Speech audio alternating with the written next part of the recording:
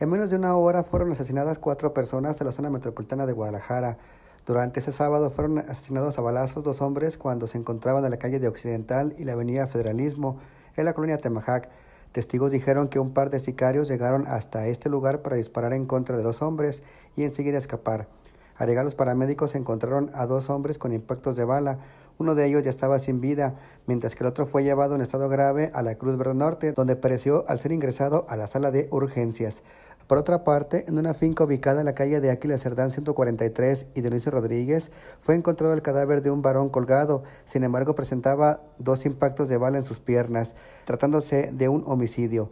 Mientras que otra persona fue ultimada a tiros en la calle Papantla, en la colonia San Pedrito, en Tlaquepaque. Para Noticiero.mx, Antonio Neri.